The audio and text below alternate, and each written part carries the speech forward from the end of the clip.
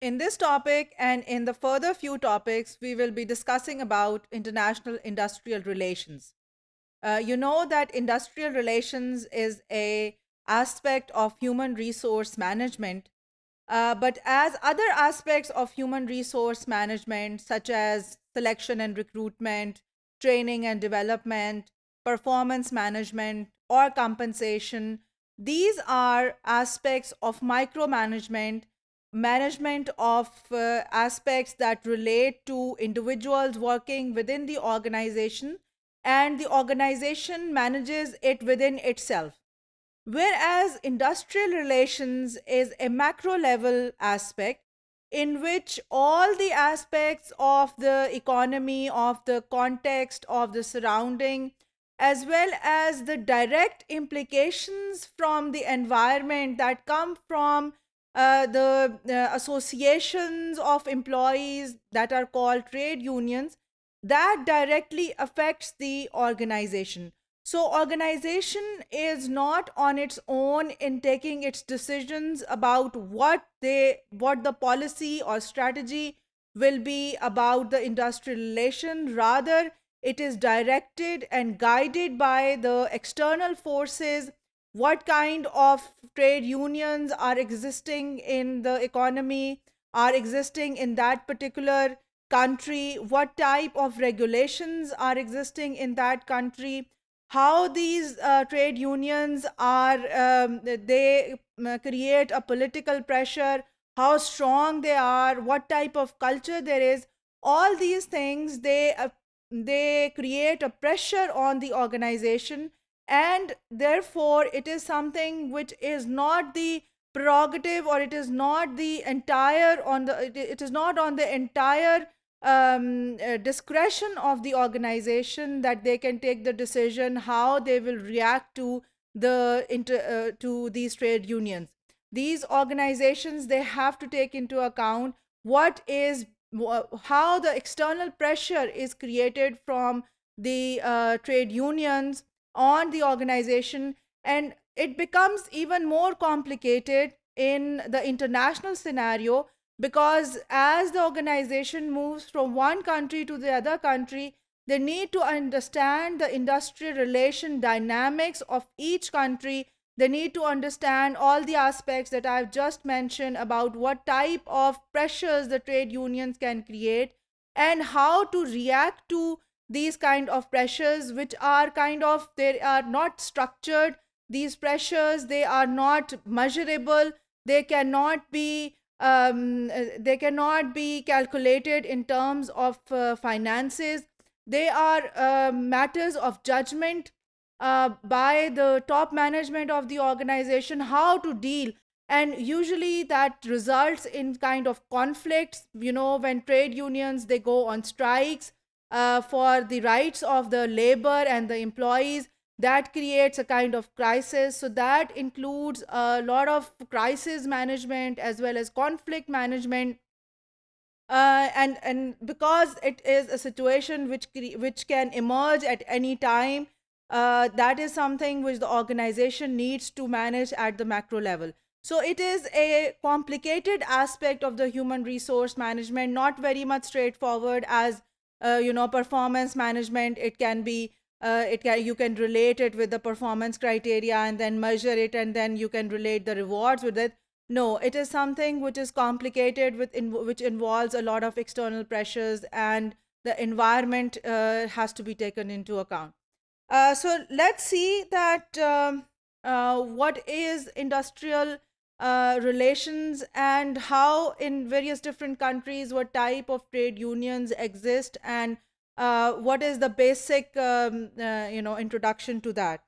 Uh, so why do we call it industrial relations? Uh, industrial relations is kind of a traditional term which was um, used uh, more frequently in the previous academic literature now uh, the terms which are used for industrial relations have moved towards more modern um, words which are uh, sometimes they are called employee relations, sometimes they are called employment relations because now the um, the employment or the employee is considered to be at the forefront.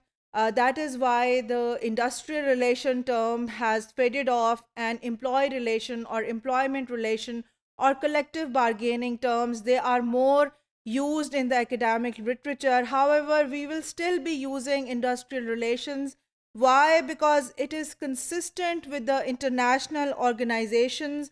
Uh, um, so the term of industrial relations is still a it is still used by uh, organizations which are operating internationally to uh, make sure that the employees they get the proper rights that they uh, uh, and these are the organizations which work for the rights of the employees. And therefore because we are talking in the international context we are not talking on the domestic context or the local context.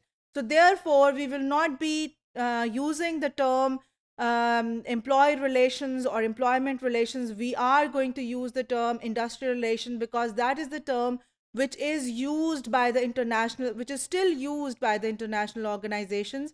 More, uh, uh, one of the uh, very important inter- international organizations working for the rights of employees is international labor organizations. You know that it is working under the umbrella of united nations. They have their office in geneva their headquarters in geneva and they work for the rights of uh, employees and they have done a lot of work on making sure that uh, employees they get proper rights they get uh, uh, equal opportunities they get proper working conditions and they keep on working for the rights of employees.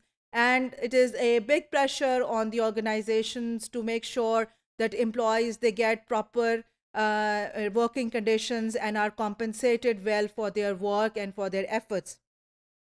Uh, then another very important organization which is working uh, globally, internationally, is the International Organization of uh, Employers, and that is the organization which is uh, uh, which is working uh, for the private organizations, and they are collaborating they, with the International Labor Organization as well. And one of the most significant contributors to, to the International Labor Organization. And they are a, an association of private organizations and uh, uh, about 100 more than 150 organizations are associated with this and they work for the rights of employees in the private sector. Um, in international uh, industrial relations we need to see that well there are different types of uh, trade unions and collective bargaining agents that work in various different countries. And international uh, industrial relations uh, they vary significantly across borders.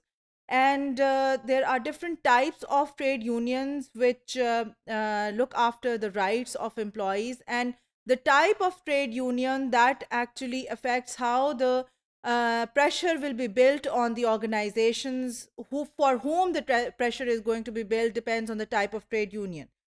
Um, uh, so the type of trade unions that are working in various different countries uh, you see that industrial unions uh, they are usually prevalent in germany and in most of the europe and it includes all grades of employees. So uh, industrial unions they are uh, association of employees from a particular industry and all type of employees of that industry they are allowed to take part in it and be a member of these associate uh, of, of these associations. Uh, then in uh, there are uh, craft unions which are prevalent in Europe, Australia, and the US, and these are skilled occupational groupings across industries. So it is possible that in one industry uh, there are many different people with a specific kind of skill. Uh, these are the type of trade unions which uh, started, which were the first ones to exist in the history. Uh, they were called guilds uh, in the UK, and uh, the people from the same kind of craft, for example, um, if a painter um, is uh, working in an industry but that painter has got a particular skill so all painters will have a guild and these guilds were then converted into craft unions. And these craft unions are they um, uh, they allow membership of people that that belong to the same craft. So um, a person could be working in the for example construction uh, industry uh, but there are many different kind of skilled workers in the construction um, industry. So there are painters and there are builders and there are uh, you know um, woodworksmen. So all these people have got different kind of skills. So crafts unions are for employees or people who are working under a particular craft and these are called craft unions. So these are more prevalent in europe australia and us uh, then there are conglomerate unions in the us canada and netherlands. They represent members in more than one industry. So conglomerates you know are big multinationals which work in various industries. For example you know unilever is a conglomerate which is working in various different industries. It is working in the M- FMCGs, it is working uh, in um, other sectors of uh, the economy as well. So uh, they these are the um, uh, organizations which are working on various different uh, levels. Then there are general unions. They are prevalent in Austria and Europe, and they are open to almost all employees in a given country. So these unions, they exist in a particular country and they are allowed to be open for all types of employees. For example, American Federation of Labor is a general union which is uh, which represents the rights of employees of uh, America and it allows membership from all types of employees and from all types of industries.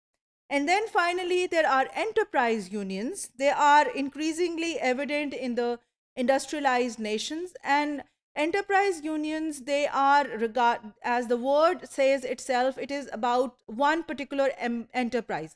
So uh, this was most prevalent in Japan.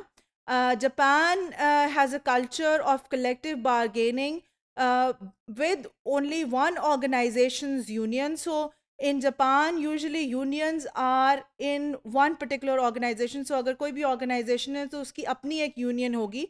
और उस वही union जो है, वो आपकी organisation से bargain करेगी rather than एक कलेक्टिव एसोसिएशन हो, जो कि मुख्तलिफ़ ऑर्गेनाइजेशन को डील करे।